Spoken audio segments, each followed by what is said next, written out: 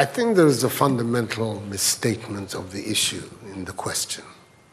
We can no longer continue to make policy for ourselves, in our country, in our region, in our continent, on the basis of whatever support the Western world or France or the European Union can give us. It will not work. It has not worked and it will not work. Our responsibility is to charter a path which is about how we can develop our nations ourselves it is not right for a country like Ghana, 60 years after independence, to still have its health and education budgets being financed on the basis of the generosity and charity of European taxpayers. By now, we should be able to finance our basic needs ourselves. And if we are going to look at the next 60 years, as a period of transition, a period whereby we can stand on our own feet. Our perspective has not to be what the French taxpayer decides to do with whatever surpluses that they have in France. They're welcome. They're appreciated. Whatever interventions that the French taxpayer through their governments make to us are appreciated. We're not going to lick a gift horse in the mouth. But this continent, with all that has happened, is still today the repository of at least 30% of the most important minerals of the world. It is a, it's a continent of vast, arable, and fertile lands. It has the youngest population of any of the continents in the world. So it has the energy and the dynamism. We've seen it. These um, uh, young men who are showing so much resilience and and, and, and, and in, uh, ingenuity in crossing the Sahara, finding ways to go across with rickety boats across the Mediterranean to really, those energies, we want to have those energies working inside our countries.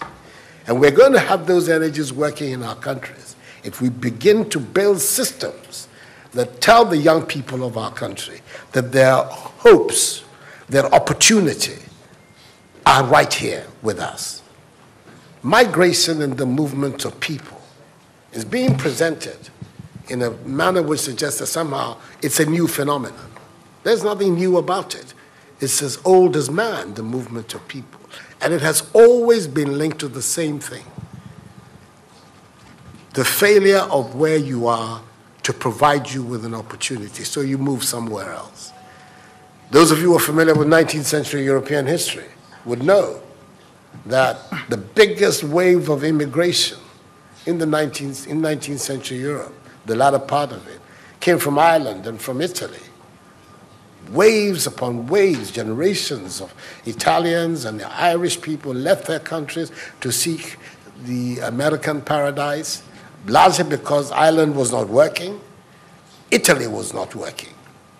Today, you don't hear it. Italian young people are in Italy. Irish young people are in Ireland. We want young Africans to stay in Africa. And how are they? and it means that we have to get away from this mindset of dependence. This mindset about what can France do for us. France will do whatever it needs to do for its own sake. And when those coincide with ours, tant mieux, as the French people say.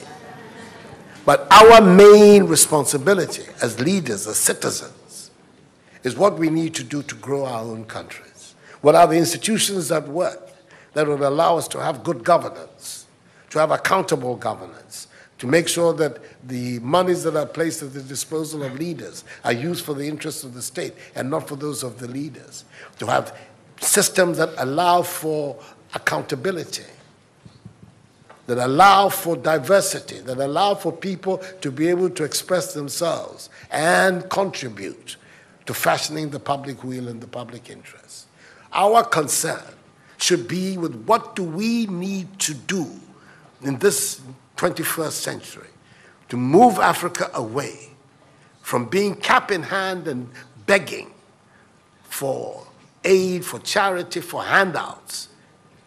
The African continent, when you look at its resources, should be giving monies to other places. We have huge wealth on this continent.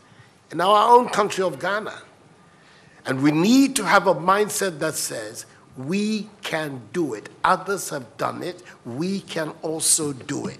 And once we have that mindset, we will see it as a liberating factor for ourselves. We keep talking about how it was that Koreans, Malaysians, Singaporeans, who got their independence at the same time as us. We're told of that at the time of Ghanaian independence, per capita Ghanaian income was higher than that of Korea. Today, Korea is part of the first world. So is Malaysia. So is Singapore. What happened? Why have, did they make that transition?